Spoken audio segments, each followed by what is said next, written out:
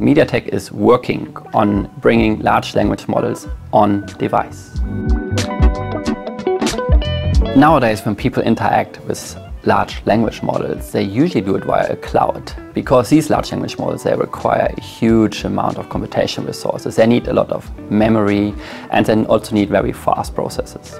And currently these are only available in the cloud. But an increasing demand in having more privacy on the internet people want to have also their model in a more safer environment, which is their own device.